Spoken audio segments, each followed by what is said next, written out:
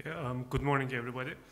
My name is Can Birant, and um, I'm very honored to welcome our first guest today, Margaret Boden, who is a research professor of cognitive science at Sussex University. As the founding dean, uh, as the founding dean of School of Cognitive and Computer Sciences, she helped develop the world's first academic AI and cognitive science um, pr academic program. A former student of medicine, philosophy, and social psychology, Boden had a long and illustrious career in cross-disciplinary cognitive research in humans, animals, and machines.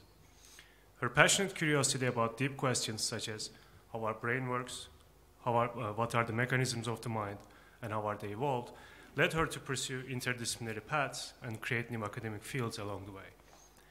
She likes to think about those profound questions in computational terms, not in the sense of writing softwares, but in the sense of defining psychological processes with the help of ideas drawn from artificial intelligence. She has written groundbreaking books and other publications in those fields, including Mind as Machine and The Creative Mind. Her many honors include fellowship and former vice president of the British Academy, membership of the Council of the Royal Institute of Philosophy, membership of the Academia Europaea, and besides her Cambridge SCD, she has three honorary doctorates from Bristol, Sussex, and Open Universities. In today's talk titled Can Neuroscience, Can Neuroscience Explain Creativity? she's going to be talking about some of the key issues in the current art and science dialogue. And that concludes my introduction. So with great pleasure, I'd like to hand it over to Professor Margaret Boden.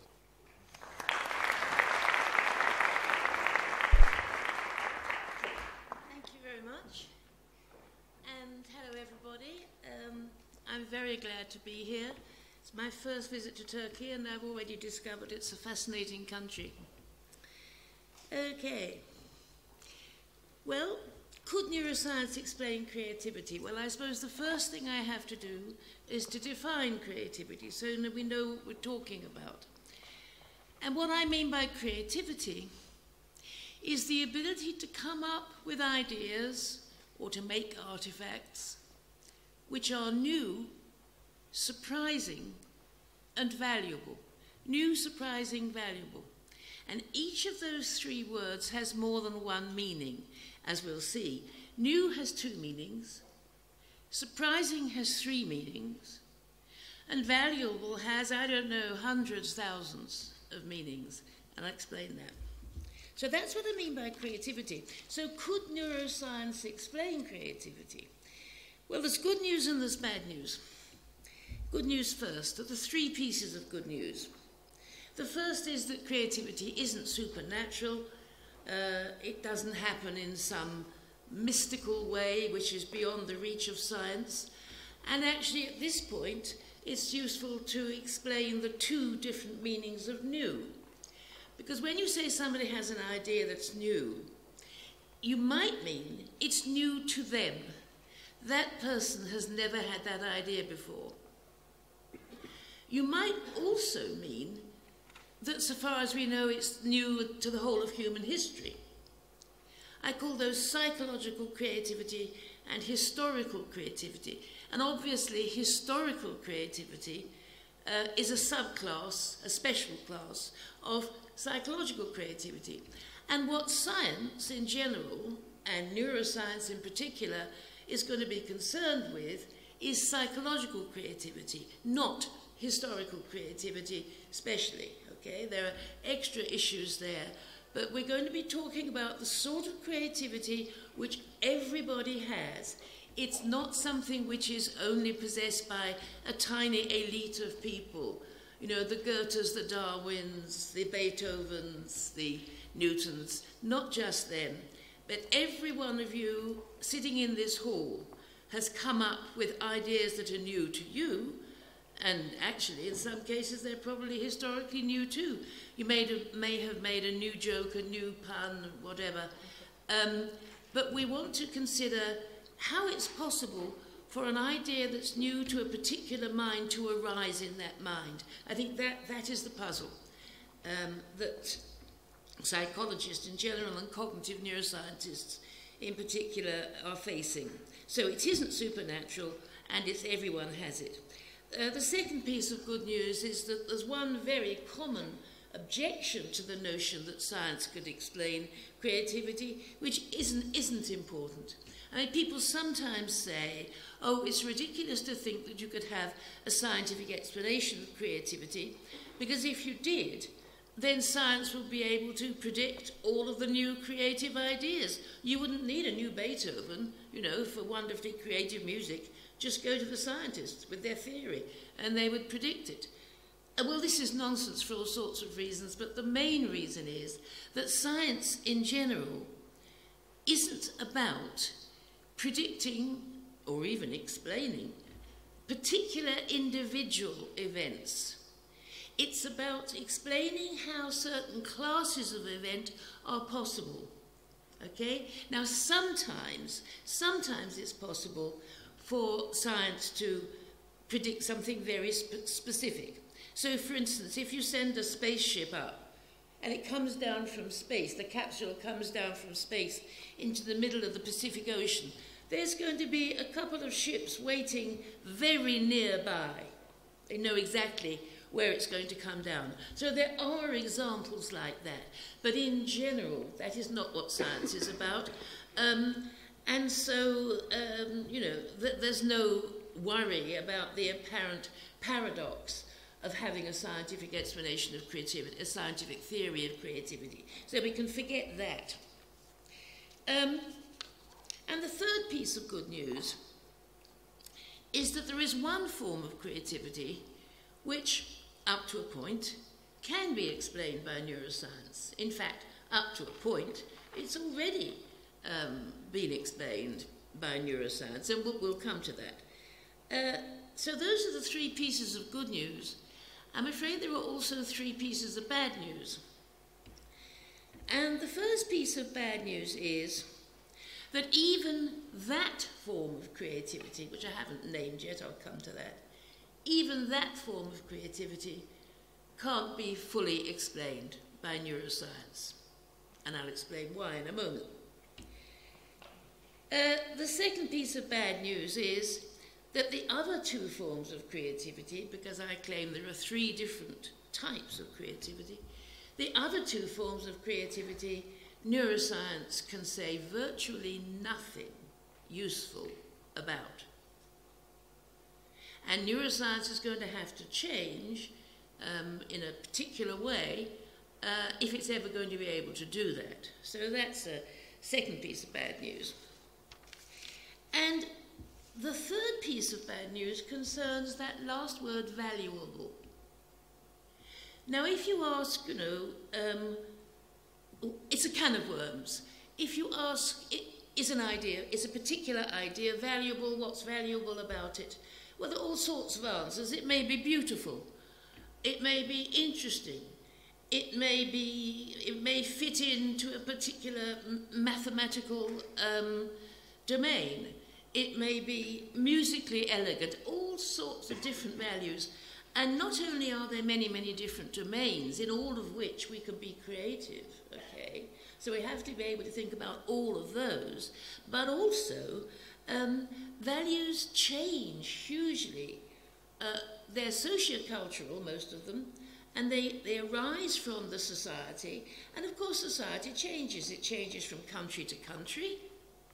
It changes from historical period to historical period within the same country, and indeed within the same country. There are many, many different subgroups, social groups, which have different values. I mean, just think of music, for example. Just think of the way in which um, different generations uh, appreciate different sorts of pop music. Think of fashion, the fashion industry.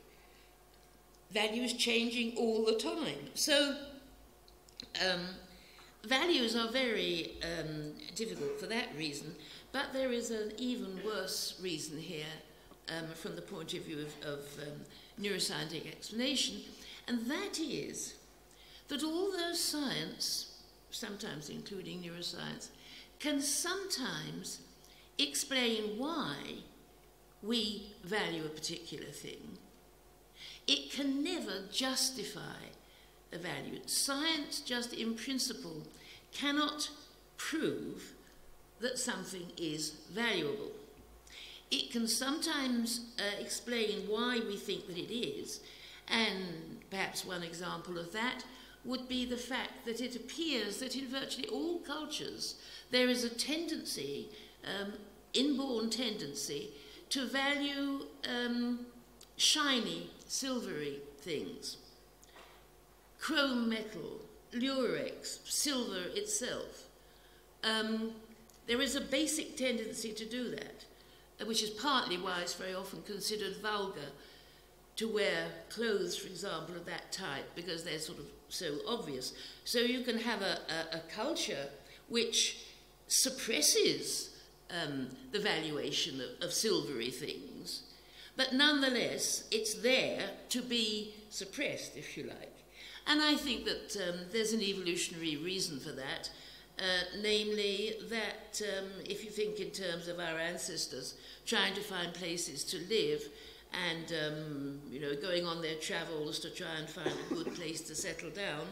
Um, one of the things that would have been a good marker for them would have been um, drinkable water,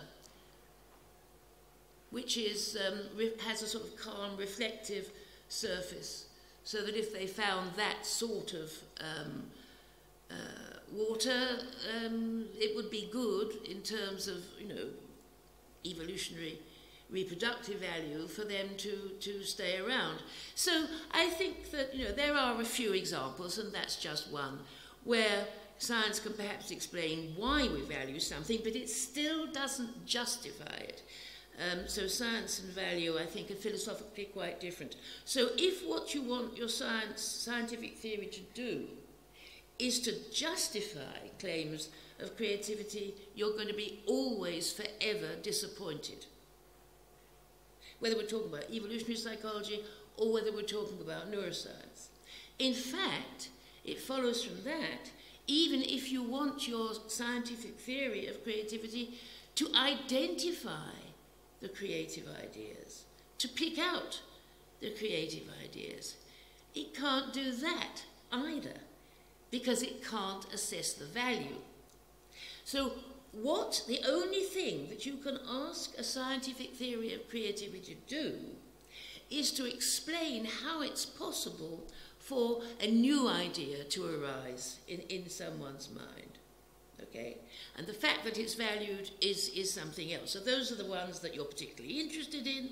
Those are the ones that will, you will hope you can get a good explanation of, of how they can arise. But that's all you can ask. So that's all that I'm going to be considering in the rest of this talk. How is it possible for um, a new idea to arise?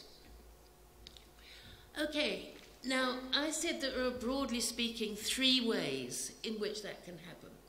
In other words, there are three sorts of creativity. And I call them combinational, exploratory, and transformational creativity. Combinational, exploratory, and transformational. Um, and usually the only one that people ever talk about is combinational creativity. But that's just one of three. Now, what do I mean by combinational creativity? In combinational creativity, uh, the novelty arises by people making unfamiliar combinations of familiar ideas. Um, and an obvious example is many sorts of imagery in poetry. Another example would be collage in visual art. Another example would be um, putting the sound of a cuckoo, the bird, a cuckoo, in a musical symphony. Those are all examples of combinational creativity. Um, and this is the one where neuroscience does have something, already has something of interest to say. I mean, way back in the 1980s, um, it was already known that certain sorts of neurotropic drugs um, could uh, apparently um, increase the number um, of associations that could be made um, in a, in a particular neuro group of neurons. And of course, we now know, and that was the early 80s, we now know very much more about um, uh, A, the connections, and B, the chemicals that are involved in, um, in the brain. And um, of course, there are many, many models, computational models of associative memory, and associative memory is what underlies combinational creativity. Um, and there's a, a, a, a marvelous book by a literary critic called John Livingston Lowes. It was written, I think, 1920s. I mean, it's a very old book. Um, and it's about the poet Coleridge. I don't know whether or not um, you know about his, uh, his poetry here, probably. Um, maybe there are two poems you might know about. One of them is called Kubla Khan, and it's absolutely wonderful. And the other one, very, very different poem indeed, is called uh, the Ancient, the Voyage of the Ancient Mariner, and that also is, is, is a marvellous poem. And to cut a long story short, what Livingston Lowes did was to look at the imagery in very great detail, look at the images in those poems, and looking at Coleridge's library and Coleridge's notebooks, which he happened to have for the 18 months during which Coleridge wrote those two poems, to try and work out what was the origin, what were the familiar ideas which were being uh, combined in unfamiliar ways and slightly changed also uh, by the poet when he came up with those poems. And um, so he was talking about associative memory. And although he didn't use that term, he knew perfectly well that he was talking about the associations made in memory. Um, in other words, the notion that there is some intelligible structure to the sorts of associations that can be made in memory is a very, very old one. It's not new at all. But now, thanks partly to computational modeling of associative memory and partly to neuroscientific work on associative we know a great deal more about it. Uh, we don't understand it fully, don't get me wrong, but we know a great deal more about it. And all of that is fine, but even here, there's a but, um, which is relevance. Um, for instance, you might say, if you wanted to get a computer to be creative, in this sense of creative, nothing could be easier. You just shove a lot of ideas into the computer, you know, give it lots and lots of ideas, and then tell it to pick out two at random, stick them together, and then you've got combinational creativity. Well, you'd certainly have something novel, but it's very unclear whether you'd necessarily have something valuable. Because for us to find it valuable, we have to see those two ideas as somehow relevant. And actually, one of the things that the poet has to do um, when he's using a surprising new combination uh, is to show you in the surrounding parts of the poem what the relevance is, why he's put those two ideas together. Um, and it actually is the fact that if you took any two ideas, really pick them out at random, you as a human being, not a computer, you as a human being, um, if you were asked to find some way of, of seeing some sort of relevance between them, um, actually you could do it. And the philosopher um, Jerry Fodor actually took that fact to be um, an objection against the very possibility of a cognitive science of the higher mental processes of thought. He had no problems with saying there could be a cognitive science of um, uh, language, the ba basic language understanding, and of vision, and so on. But the notion that you could have um, a scientific understanding of uh, that sort of associative thought that I've been talking about, he said was absurd because there were no limits, there were no constraints. Well, actually, um, that isn't quite true because we have evolved various mechanisms um, to make us attend to things which are likely to be relevant. A very basic example of that is motion perception, motion detectors in the eyes. I mean, uh, movement is very, very easy to attend to, to see, to notice. Evolution has made sure of that. And also, evolution has made us um, develop stru- structures in memory. For example, schemes, schemata for various different concepts and um, nests of concepts and so forth, in terms of which we normally think, and which tend to guide our thinking and guide our thinking about relevance and so forth. Again, if you want some examples, think of what um, Freud says about the examples he gives in the psychopathology of everyday life, or for that matter, in some of his dream interpretations. He's showing possible routes of relevance, okay? Um, so, relevance is hugely important for judging creativity, but it is um, so subtle that we really don't understand it. I think you know the best treatment of this, which has a sort of computational basis, if you like, information processing, ideas coming into it, is a very interesting book by Sperber and Wilson. Um, Sperber is an anthropologist, Wilson is a linguist, um, and it's a very rich book. But it can't give detail, specific detail about um, how relevance is judged, and um, it's a very long way from doing that. So, in other words, neuroscience can say a great, great deal of very interesting and very helpful about combinational creativity, but there are huge and important questions which it can't answer. Yet, maybe it will. Certainly not at the moment. And it's got to sort out relevance before it's going to be able to do that.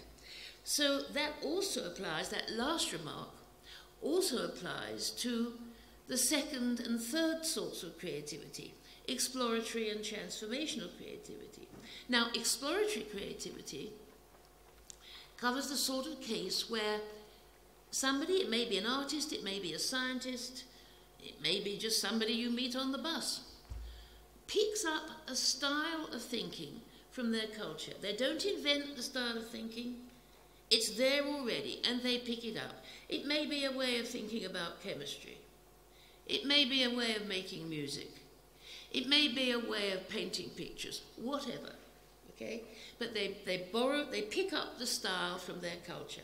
Occasionally, they pick up a style from another culture.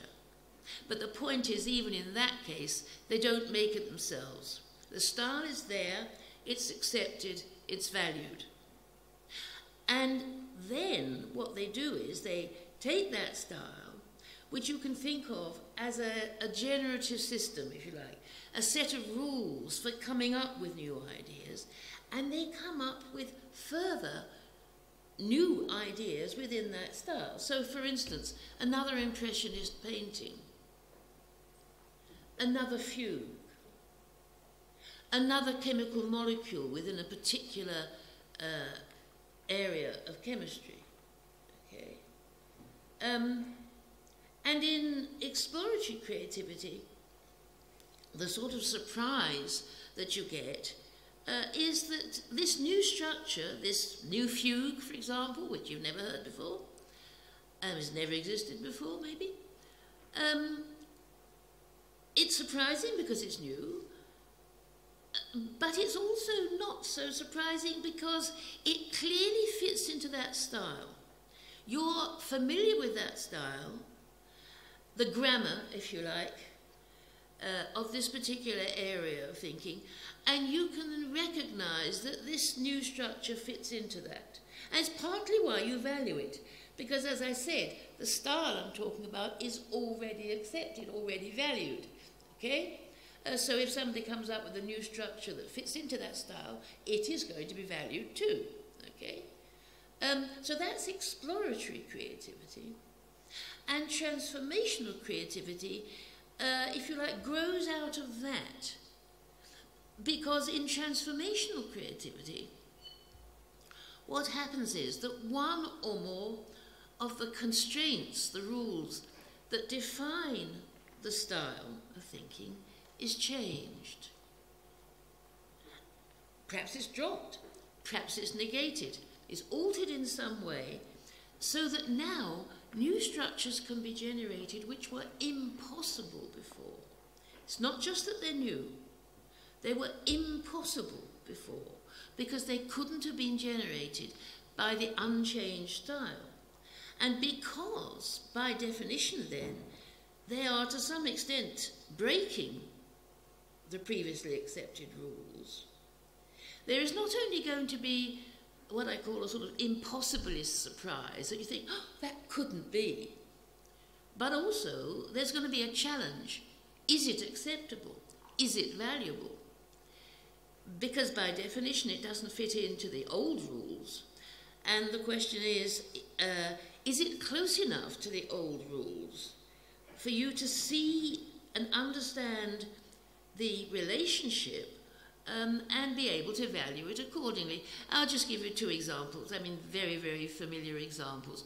One is the, um, in, in, in 19th century chemistry, the change from thinking of um, an organic molecule as basically a string of carbon atoms with bits hanging off, like that. Okay, it's a string of carbon atoms. And Friedrich Kekule, in roughly the middle of the 19th century, said, well, let's think of joining the string up and see whether that enables us to explain, for instance, the structure of the benzene molecule, which previously it couldn't.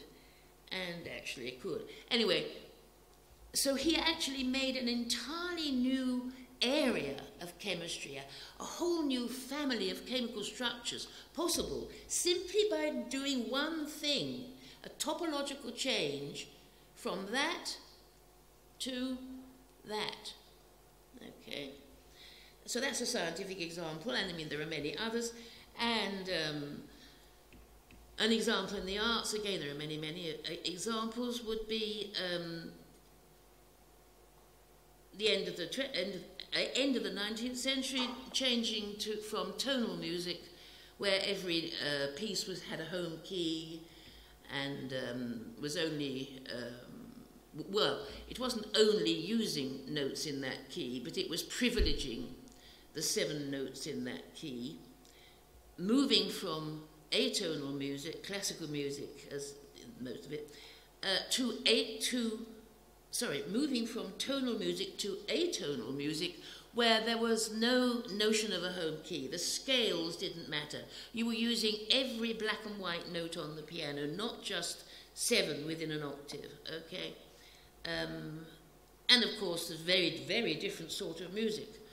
And many people still can't get their heads around it and can't appreciate it.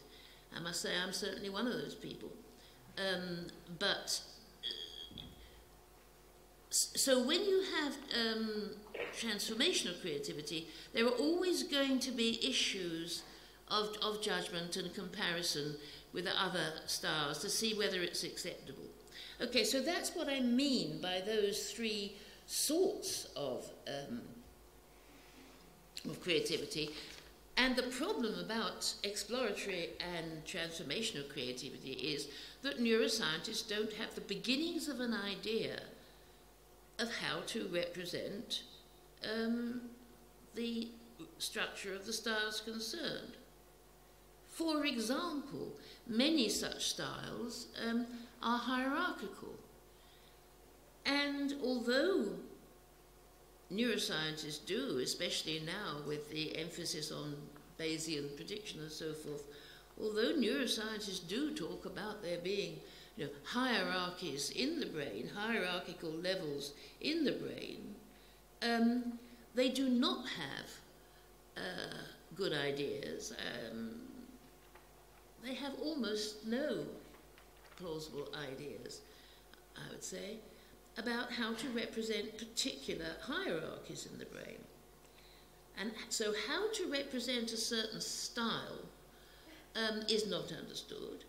And still less do they understand um, at the neurological level what's involved when, for example, you, you drop a constraint. Now think about Euclidean geometry, six axioms in Euclid's geometry. Well, one thing which was mathematically hugely important for people to do um, was to drop the last axiom and see whether or not you could get a geometry that made any sense if you did that. Um, Now, how do you represent that in neuroscientific terms? You have got to, you would have to understand how each of the six axioms was represented. You'd have to understand how it is possible to pick one of them and drop it, just as how it's possible for the musician to pick the notion of the home key and just drop it. Okay? There are many, many, many examples in art and science of transformational creativity that involves dropping a constraint. So it's a general mechanism of creativity that we use, but it certainly can't be um, explained by uh, neuroscience. In fact, they don't even ask the questions. And really, this is um, an aspect of the general point I'm trying to make in this talk. I'm talking about creativity. But actually, I'm not just talking about creativity. I'm talking about the issue of whether or not neuroscience can explain our higher mental processes, our higher level thinking uh, in general. Okay? And in general, what I would say is if it's ever going to do that, and I have no doubt one of these days maybe it will. But if it's ever going to do that, it's got to ask the right questions. And the right questions are going to have to be questions posed at the psychological level, the information processing level, the computational level, if you like, where the psychological structure of what's going on has to be understood, you know, in order for the neuroscientist to ask the questions about, well, you know, how can this be done by the brain? And how can that be done by the brain? And you can't do it actually just by talking, by finding correlations. If any of you are thinking, well, you know, um, brain imaging is hugely important at the moment, a lot, a lot of effort and money going into brain imaging, um, surely that can be used to uh, to help us understand these things? Well, um, yes and no. I once said to Chris Frith, uh, does anybody here know the name Chris Frith? No? Okay. Chris Frith is um, a very important leader, indeed pioneer, um, of brain imaging. He's actually married to and very often works with uh, Uta Frith. Have you heard the name Uta Frith? Well, Uta Frith is the world authority on autism and the person who, with her uh, student Simon Baron Cohen, first formulated theory of mind. Okay, so these, so Uta is hugely important in cognitive science, and Chris Frith is um, hugely important for, because he's a neuroscientist, Uta is not. Chris is a neuroscientist, and he was one of the first people to do brain imaging. And he is one of the very, very few people to whom the criticism about to, I'm about to make doesn't apply. And I'll explain that in a moment. But uh, I once said to Chris, I said, it seems to me that 90% of what goes on in brain imaging uh, is of no scientific interest whatever. It's natural history. It's finding out facts such as, uh, you know, when a person thinks about a certain sort of uh, issue, this part of the brain lights up. The, these, this part of the brain appears to be active. Um, but A, you don't even know what the activity is. You don't even know whether these are excitatory or inhibitory neurons.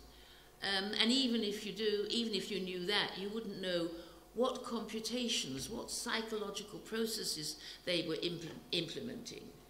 That's the, the question you need the answer to in order to turn all these um, individual correlations, natural history, if you like, into um, a psychoneural theory of what's actually going on and how processes in the brain are making our psychological life possible.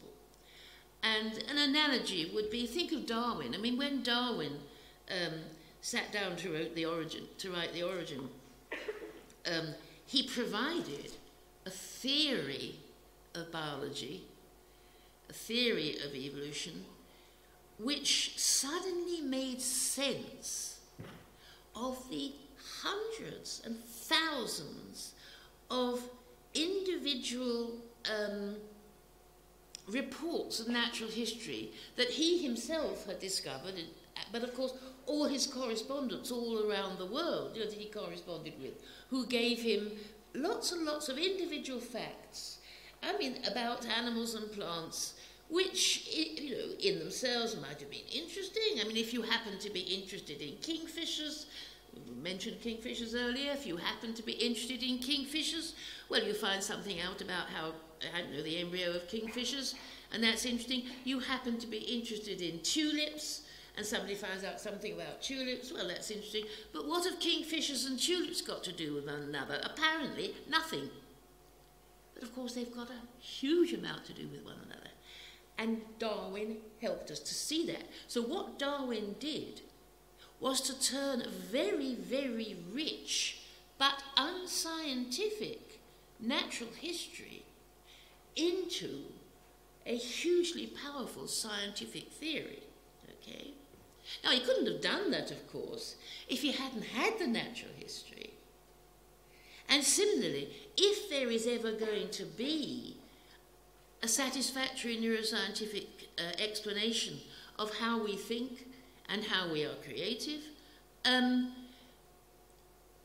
th- that certainly isn't going to happen unless you've had lots of people doing brain imaging first.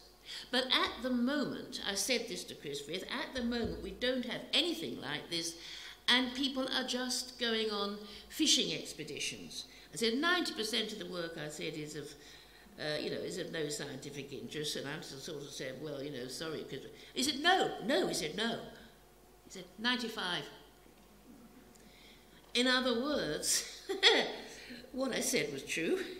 And Chris actually, and in fact I wouldn't have, probably wouldn't have said it to somebody who wasn't Chris because it would have been too rude because it would have applied to them. I knew perfectly well it didn't apply to Chris because as I said a moment ago, this um, criticism doesn't apply to Chris Frith because in all of his work, uh, Chris starts out from a psychological theory which guides the questions that he's asking when he's doing his imaging experiments. Let's just give you just one uh, example. Um, I said that Uta Frith, his wife, um, is the leading world expert on autism and theory of mind. And as I'm sure you know, um, one, well, the main part of the main theory of autism is that for one reason or another, um, autistic individuals do not have um, the normal theory of mind. They're not able to think of themselves and other people as systems with intentions, goals, beliefs, perceptions, which can um, differ from each other. And therefore, they aren't able to structure their own um, activity or to interpret uh, other people's and predict other people's activity in these terms. And so they have huge, huge social limitations. They cannot interact with people or understand what people are doing in these sorts of ways. Okay, so that's, um, that's the theory. Now, what Chris Frith said, in effect, was if that's true, um, then it might be the, might well be the case that autistic people um, aren't able to that their brains aren't able to cope with what are called intentional verbs. What I mean by intentional verbs are psychological verbs like John loves Mary, John hates Mary, uh, Mary believes that uh, Arsenal will win. Um, Joe wants cheese for his breakfast. Those are all intentional verbs, psychological verbs. as opposed to, for example, Mary weighs 90 kilos, for instance. And um, cognitive neuroscientists had already discovered by brain imaging that it seemed to be the case that there is a particular area in the brain um, which seems to uh, be processing intentional verbs. Okay? For this, just with using normal subjects, not autistic people. In all of us, we can all process these verbs, and it seems to us that, um, and it seems there is a particular part of the brain which does that. Okay, so what? So Chris Frith then said, if that is so, then we would expect that if we do um, brain imaging experiments presenting language, sentences to autistic people, that when the verbs are intentional verbs, not only will they not understand them, which we already knew they appear not to understand them, but that part of their brain would not respond. And so indeed he found. Right? In other words, he found some neuroscientific evidence supporting the psychological theory uh, that the basis of autism is lack in the theory of mind. Okay? That's just one example. Other examples in schizophrenia that he did. Now, that is the sort of question and the sort of approach which cognitive neuroscience is going to have to um, apply if it's going to help us understand creativity. And the notion of relevant, of course, is just as important for all three forms of creativity. So everything I said about relevance earlier still applies. Um, but we have to understand creativity at the psychological level first. We have to understand the different psychological information processing computational structures that are involved in the three sorts of creativity and in various different examples that I've given you. And only then, only then will cognitive neuroscientists be in a position to ask the right questions. Now, whether they'll get the right answers, wait to see, but they have to, to, to uh, ask the right questions first. So, in other words, um, the answer to the question, could neuroscience explain creativity, I think is, well, yes, in principle, but do not hold your breath because the psychologists have got to do the good work and the computational work first.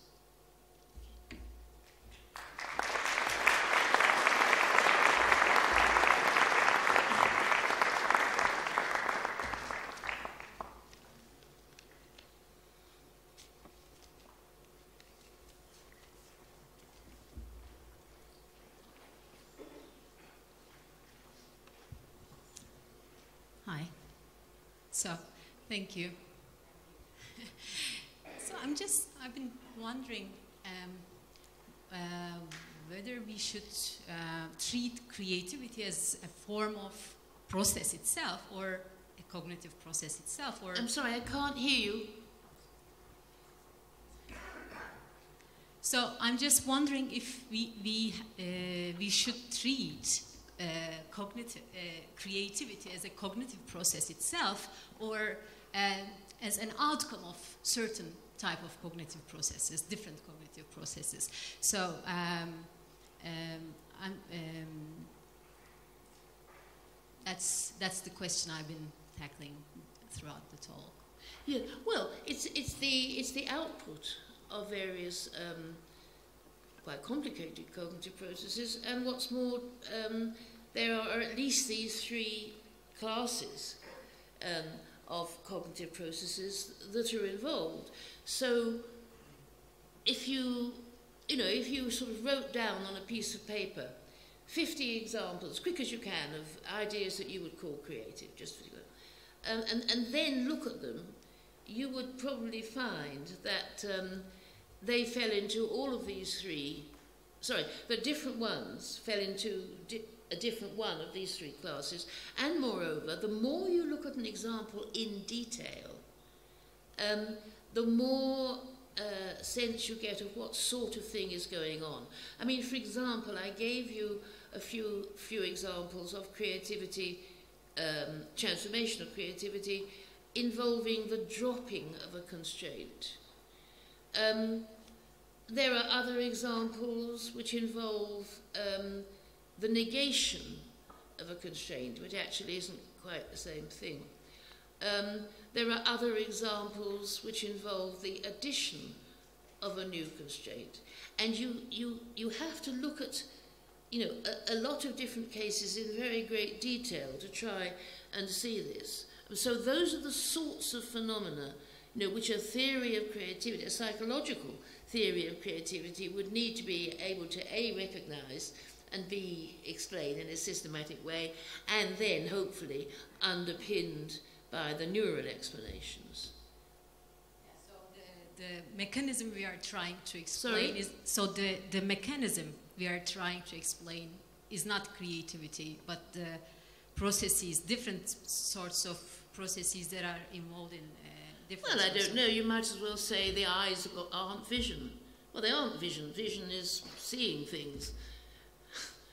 Vision is being a, and I don't mean, I'm not trying to get into the um, problem of consciousness here, that's not what I mean.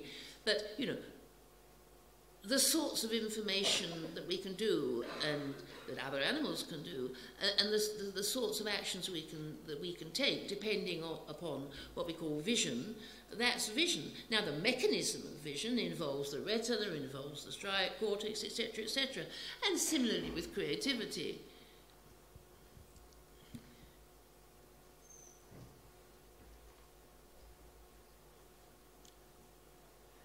Thank you very much for this very interesting talk.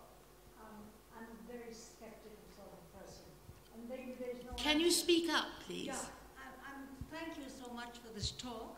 Um, I'm a very skeptical sort of person, and my question would be really neurological. You were saying that there are hierarchies in the brain, and you were saying that there are particular areas in the brain processing intentional verbs. How do we know this? Oh, uh, well, how we know that is that um, they they do brain scanning on subjects uh, while they uh, read certain sentences to them. And so, if they read sentences, all of which have got intentional verbs, they find that actually this part of the brain lights up and that part of the brain doesn't light up. Whereas if they use sentences which don't have intentional verbs in, uh, it's different. So I mean that's putting it very crudely, but that that basically is how is how you do it. So notice that is that in itself is just a correlation. It isn't an explanation.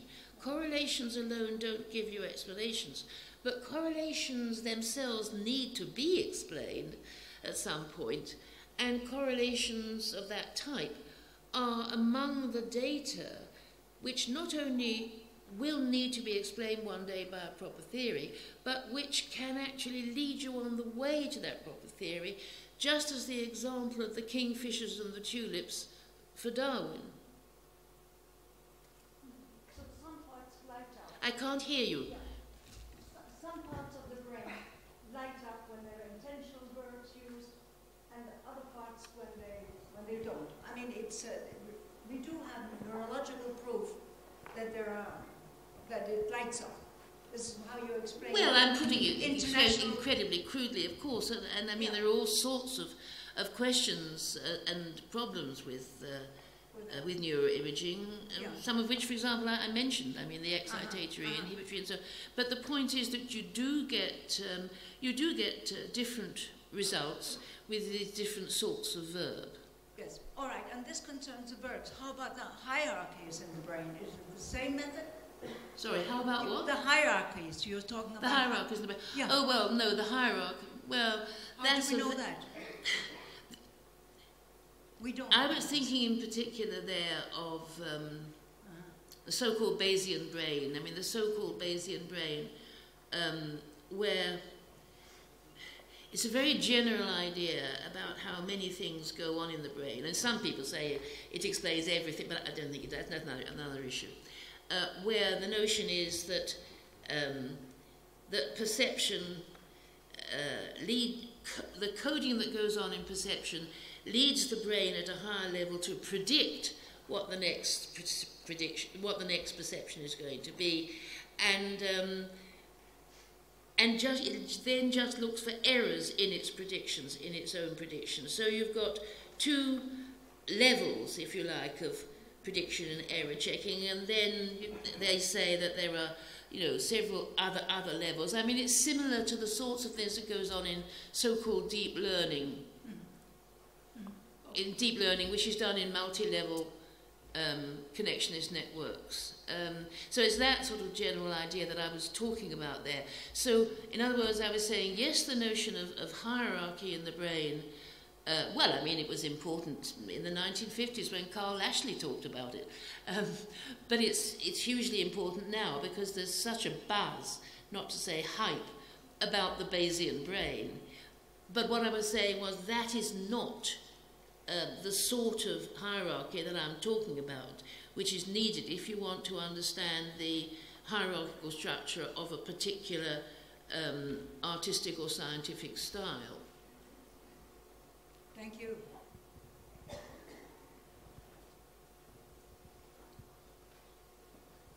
Thank you. Um, you said earlier that transformational um, creativity was, uh, I think, an extension of exploratory creativity. Um, I was wondering whether combinational creativity had a relation uh, in the process of this creativity had had a relation to it too, or whether it was a completely different process. Sorry, combinational creativity is different. Is perhaps different from what? I was wondering the relation between combinational creativity, along with exploratory and transformational creativity. Ah, well, yes. These are the distinctions I made were, if you like, analytical distinctions between different sorts of psychological processes process that can be involved in generating novelty. Now, in any particular um, in idea or artifact, for instance, a poem, for instance, a, um, a sculpture, it may well be the case that all three types of um, creativity are involved. So one as, for, for example, um,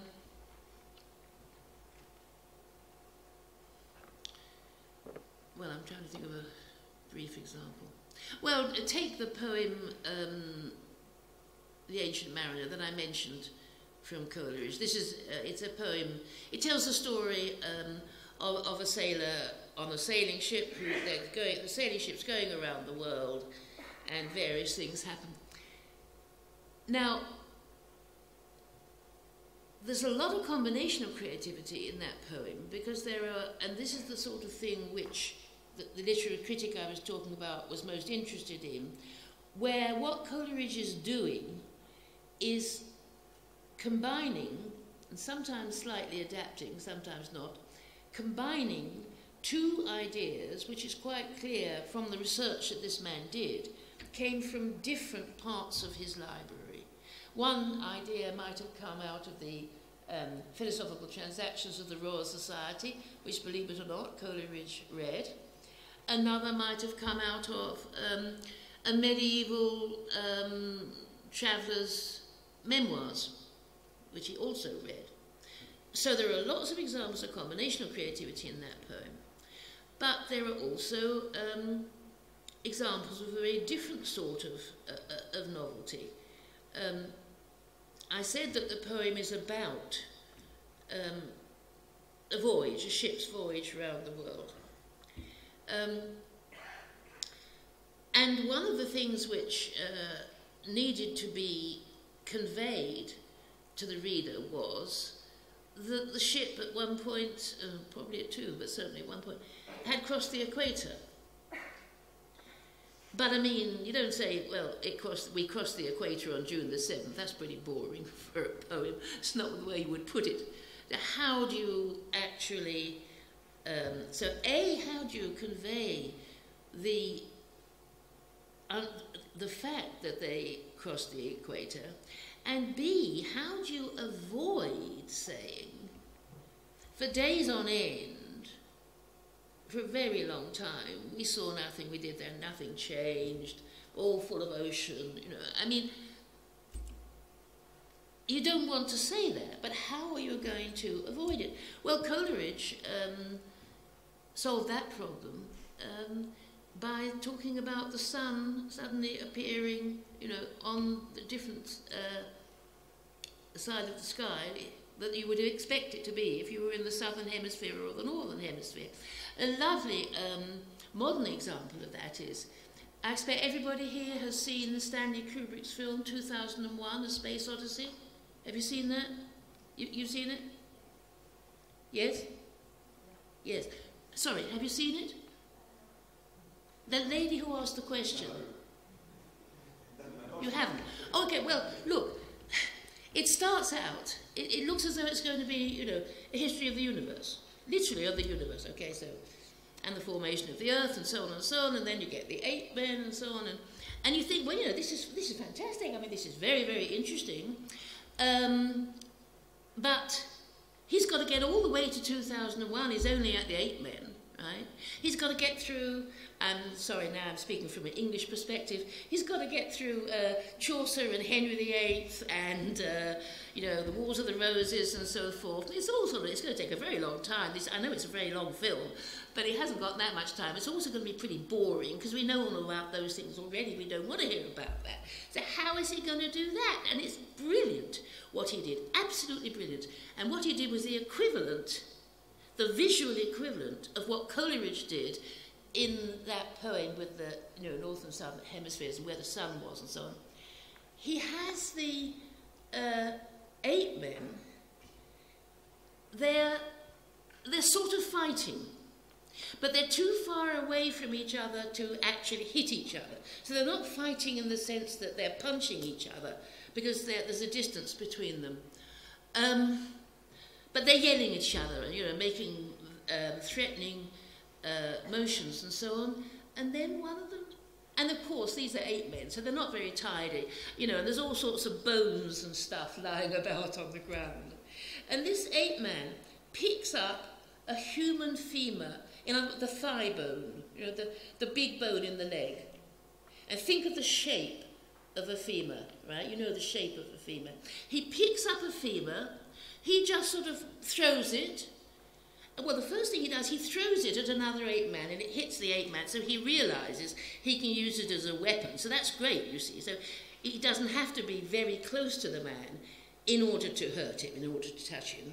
So he's very pleased. So he throws another femur, he throws it up in the air in delight. He throws it into the air and the, the bone spins in the air, and you see it spinning, and as it spins, you see it transforming visually into the spaceship, which is almost exactly the same shape as the femur. And this is absolutely brilliant because not only does it enable him to avoid all that boring history stuff, okay, but he's making a very important intellectual point. That femur, in the story as he was telling it, was the first example of technology. It was the first example of the eight men apparently realizing that they could use a tool. I mean, it happened to be a bone, but it was being used as a tool, in this case as a, as a weapon, right? It was technology, the beginnings of technology. And of course, that's exactly what the film was all about. So, I mean, very, very um, uh, tight and, and, and clever creative idea. It's not just combinational creativity. I think that is not only a very rich example of combinational creativity, analogy and so on, um, but also exploring idea, our ideas, in this case, of what technology is and so forth. Um, so for, for anything, for anything interesting, anything um, really complicated or think of looking at a, a painting that you very much admire, I suspect, you know, some things about it may, may be interesting combinational creativity. Some things about it, I mean, if it's in an already existing style, it's going to be an example of exploratory creativity. And if it's making um, a historical transformation in painting, right, then it's going to be a tra- transformational creativity. So you have to look very carefully in very great detail at each example because the human mind is very rich, very subtle, and it can come up with, um, you know, lots of things can be happening at the same time. So um, when I get, if I gave the impression, and I can see I probably did give the impression that every uh, everything you regard as creative is either combinational or exploratory or transformational. That's only true about the individual processes, psychological processes, the mechanisms may be going on, but the thing itself um, may well be a very rich mixture of all of these things.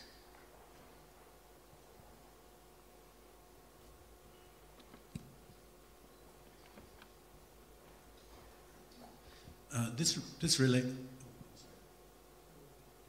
uh, this relates to the previous question, and it's a question about the relation between uh, combinational, exploratory, and transformational representation. I would think that the exploratory had to build upon the combinatorial, combinational, I think was the word, in the sense that uh, the sentence I'm uttering at the moment is a slavish combination of elements of the rules of English. But the meaning that's driving it is somewhat exploratory since I don't actually know what the answer to my question is going to be. If that's the case, and I should let you say whether it's the case, um, the question then arises of the relation between the exploratory and the transformational. And I, I have a feeling that the transformational is merely the end result of a lot of exploration. Oh, it certainly is. You're never going to get transformational creativity without a lot of exploratory creativity first. That's certainly true. Um, and actually, the more, uh, well, I would say, you know, the more interesting, the more creative um, an artist or scientist is who is doing exploratory creativity, the more likely they are to be using their exploratory creativity, not just to come up with another and another and another and another structure, you know, that fits in, into this style, um, but trying to push the limits, trying to find out, you know, what it can do, what it can't do. Actually, if you go to um, a retrospective exhibition of a painter, um, and an exhibition where the, his paintings are arranged chronologically, on the wall. So the early ones, and then the next one, and the later ones over here. You can see this sort of thing happening. You, and then, I'm assuming, for the sake of argument here, we do not, we're not here talking about a transformational artist. Most artists, including rightly respected and revered artists who are hung in our museums, right, and our galleries, most artists do not do transformational creativity, ever. What they do is exploratory creativity, well, and some combination, exploratory creativity, but they do it very, very well, and they also, in some cases, do it in a very interesting way, which is to say, you can see when you look at the canvases spread out chronologically that they're. Um, that, that the person is trying to see whether this aspect of the style, um, what it can do and what it can't do and what it can do and what it can't do. And when now, when they find, if they find that um, there are certain things which they were trying to do that this style does not enable them to do, sometimes they will then go on to change, to transform the style in some way so that they can. And usually, if somebody does that, they do it once and they spend the rest of their life exploring that style. Same is true of scientists. Occasionally, you'll get somebody, Picasso was one example, Turing, I would say, was another. Picasso was a clear example of somebody who made more than one artistic transformation. That's very unusual. Um, but as for the first half of your question, um, I would say that you're coming up with a new sentence um, is exploratory creativity. You know, you're using the you're using English grammar. English grammar here is a style, with English vocabulary obviously in the background. Um, now, yes, you're combining English words um, because that's what this style is. It picks out in, uh, English words and it puts them together in certain grammatical ways.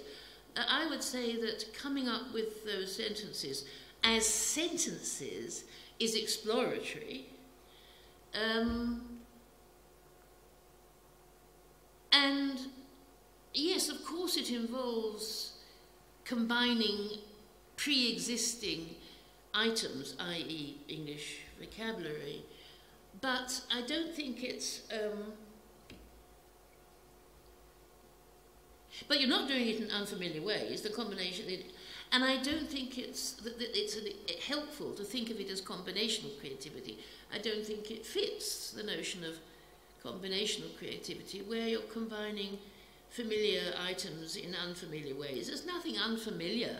I mean, okay, it's unfamiliar in the sense that very often we come up with sentences that are the only use in the whole history of the universe of that sentence, okay? Not like the cat sat on the mat. Um, but it, it, it, I wouldn't say it was an example of a combination of creativity at all. I would say it was a very clear example of exploratory creativity. And actually, when the lady was asking about hierarchy in the brain, um, I mean, the only neuroscientific theory that, that I know about, and I don't know much about that, and probably Mark, you know, a lot, of, a lot more about this than I do.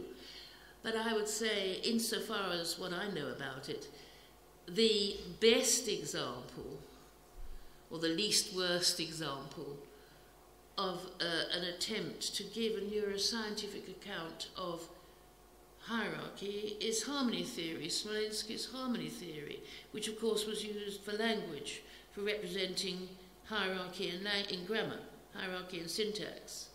Now, A, I don't know whether that is still taken seriously either by psycholinguists or by neuroscientists. B, I don't know to what extent, and I rather doubt, that it's easily generalizable to other cases. Um,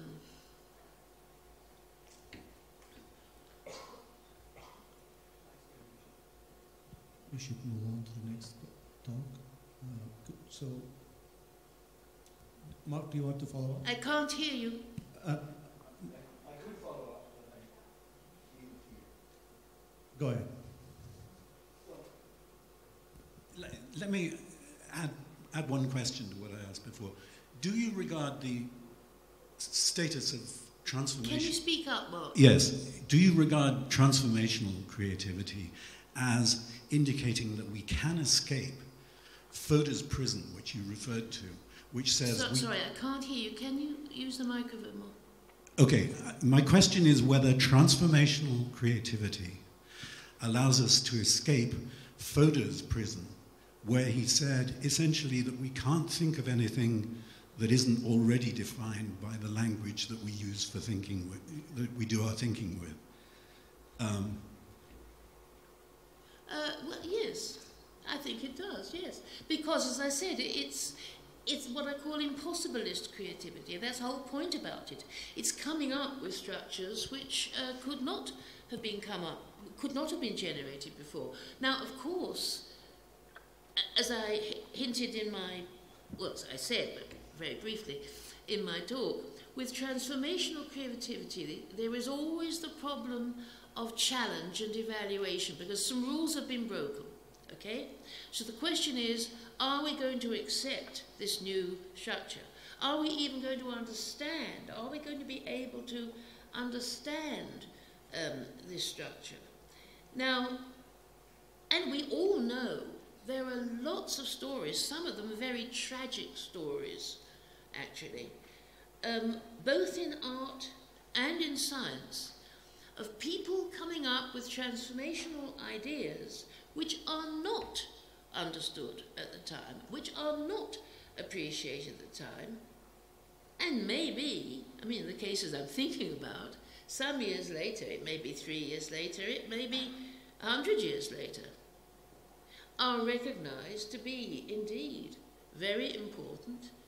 Um, and not just important in, in the sense of there wasn't any evidence then, but now there's evidence, but something much more interesting that, than that. Important in the sense that now they can be understood um, because with the passage of time, and very often with a lot of hard work on the, on the part of many people, not just the creative person themselves, but their friends, their followers, their fans, um, oh, and it may take many years, the, the new style um, is compared with the old style in such a way that people get to understand you know, what the links are, what's going on, um, and why um, the new style seems so strange and perhaps unintelligible, um,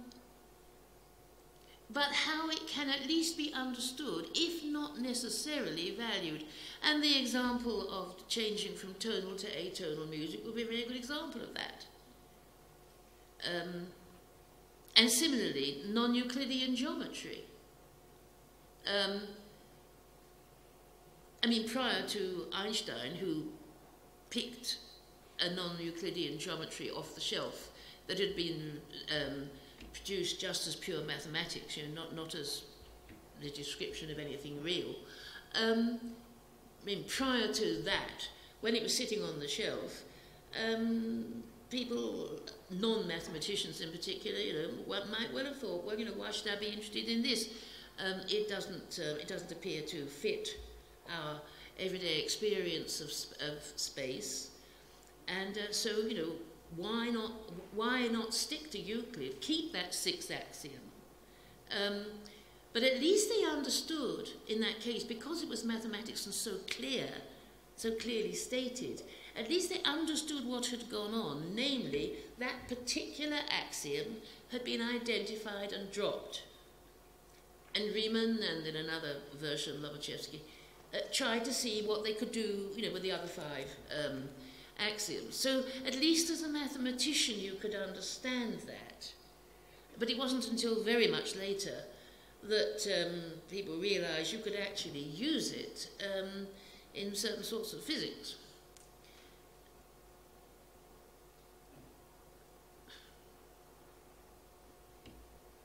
I think there was a question over here.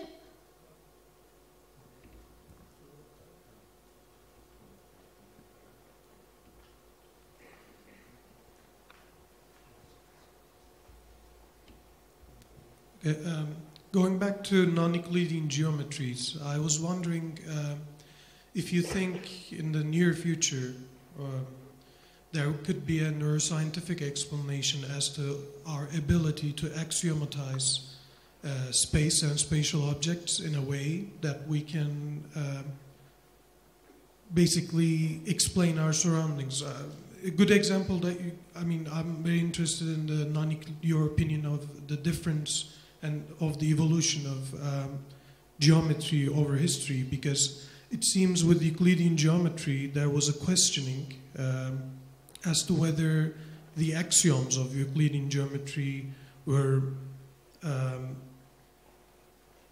rather uh, representation of flat space were something that was uh, built in our, our, mind that came through pure intuition but uh, the emergence of non-Euclidean geometries and their application to nature seem to show the contrary because it's mainly based uh, on experience. And do you believe that there could be a neuroscientific explanation as to uh, the evolution of our well, understanding? I suppose I think that in principle there could, but that's merely to say that I don't think it's magic. I think we understand almost, almost next to nothing, less than nothing. We understand next to nothing at the moment, I would say, about these issues. I mean, if you look at, for example, the way in which in um, artificial intelligence um, people have tried to model diagrammatic reasoning, they've had very, very, very limited success, and they've been trying to do it for 50 years. And various, um, everyday, literally everyday um, abilities, which all of us have, spatial abilities, um, which we use to um, understand how we use diagrams. Um, whether it's graphs or whether it's Euclidean geometry or whatever. Um, certainly many of these, you know, cannot cannot yet be um, represented in, in AI. Um, the man who, who, I mean, if you're really interested in, in, in, this issue, you want to get onto um, the website of a man called Aaron Sloman, S L O M A N, and his website is called CogAff, C O G A F F. And there's a whole rich, I mean, there's a whole lot of stuff, very, very interesting stuff, all different on, that. But just if we're talking about the development, evolution, and development in childhood um, of, math, of mathematics, of geometry, and other areas of mathematics, and AI's problems with it, he has a huge amount to say about that. But I mean, you know, to, to, um, put it in a nutshell, he says, what I just said, I mean, he says, we haven't got, a, we really haven't got much of a clue yet in. Um, but these are hugely important questions, you know, for, for understanding the mind. And we don't even understand how it is. Um, and of course, developmental psychologists have tried too. Of course, they've asked questions about how children's understanding of space develops and so on and so forth. I'm not saying nothing is known, but I'm saying a huge amount is not known. And even if you find, even if you can say something interesting about what the actual behavior is as the child develops, uh, finding the mechanisms, hypothesizing the psychological me- underlying mechanisms that do this is very, very difficult. Um, I mean, another name I would mention here, although she's not specifically concerned with geometry but other things, but very, very interesting uh, and relevant work of Annette Karmiloff Smith on so called representational redescription. That's what you want to Google on. Representational redescription.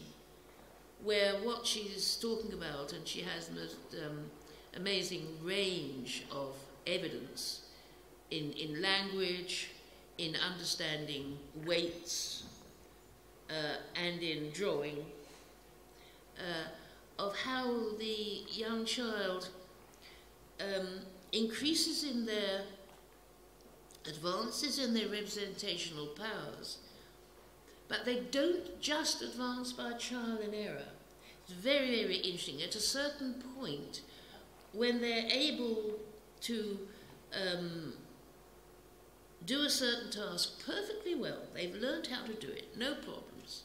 So it's not talking about error messages here. They actually generate a new form of representation of their own abilities, which enables them, and in fact, they very often they'll get worse at the, at the task concerned for a while, right? But they will then get very much uh, better because they are able to represent their own activity in ways which enable them to vary that in ways which they weren't able to do before. Very, very simple example um, would be um, if you ask a, um, a young child who can draw very simple houses or very simple, you know, stick men, you know, um, Draw me a funny man, a man no one's ever seen. Draw me a funny house, a house no one's ever seen.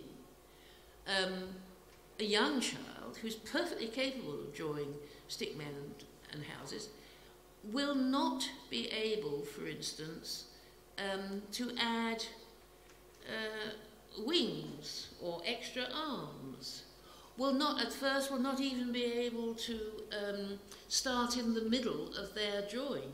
A bit like somebody learning to um, play a piano piece and they're not very good. They can, they can't start in the middle. You know, if you ask them to play that again, meaning they've made a mistake, please play it again, they have to go back to the beginning. And, only later are they able to start in the middle. And so on and so on. Very, very rich stuff. Um, and all of that uh, would need to be need, needs to be understood if you're going to understand um, the development of creativity. I, I think we should really move on to the next talk. Um, our next speaker is, thank you. Thank you.